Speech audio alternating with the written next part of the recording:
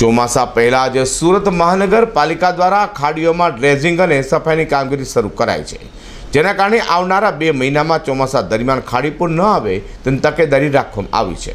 સુરત મહાનગરપાલિકા દ્વારા દર વર્ષે ચોમાસા પહેલાં પ્રી મોન્સૂન કામગીરી યાદ ધરાય છે, જોકે તેમ છતાં ચોમાસામાં પાલિકાની પ્રી મોન્સૂન કામગીરીની પોલ ખુલી જાય છે. ત્યારે ફરી ચોમાસાના બે મહિના પહેલાંથી સુરત મહાનગરપાલિકા દ્વારા ખાડી સફાઈ સાથે પ્રી મોન્સૂન કામગીરીની શરૂઆત કરાઈ છે. સુરતના વિવિધ વિસ્તારોમાંથી પસાર થતી ખાડીઓનું ડ્રેજિંગ સાથે સફાઈ અભિયાન હાથ ધરાયું છે. જોકે હવે આ પ્રી મોન્સૂન કામગીરી કેટલી કારગર નીવડે છે તે તો જોવું રહ્યું. અઝર કુર્સી સાથે પ્રકાશવાળા